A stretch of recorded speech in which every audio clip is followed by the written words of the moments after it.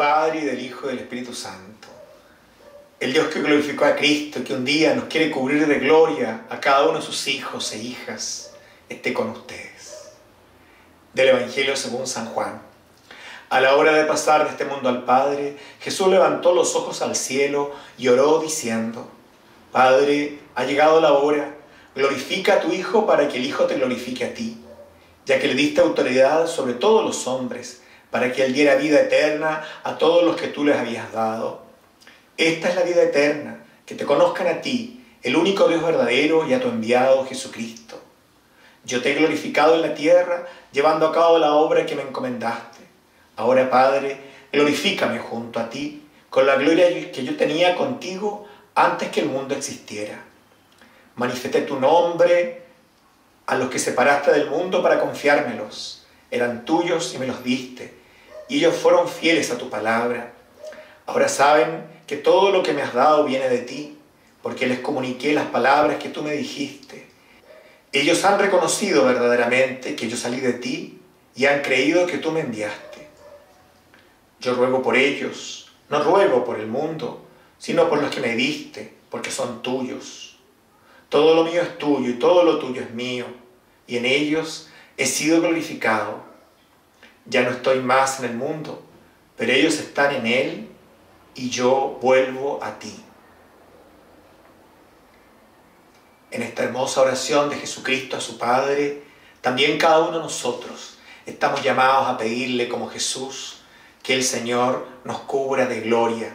Y a diferencia del caso de su Hijo único, con toda justicia, porque Él se desprendió de ese manto de gloria al encarnarse y quiso pasar como uno de tantos, humillándose hasta la muerte y muerte de cruz.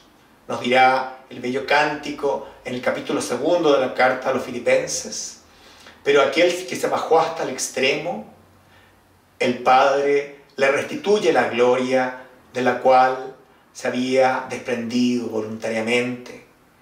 Y al recuperar esa gloria, nos devuelve a nosotros una dignidad que nunca habíamos merecido a causa del pecado.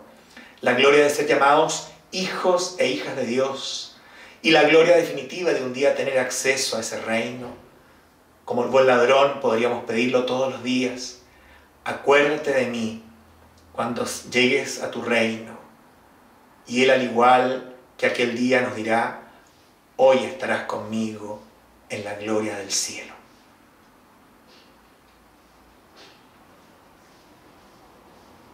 Creo, Jesús mío, estás real y verdaderamente en el cielo y en el santísimo sacramento del altar.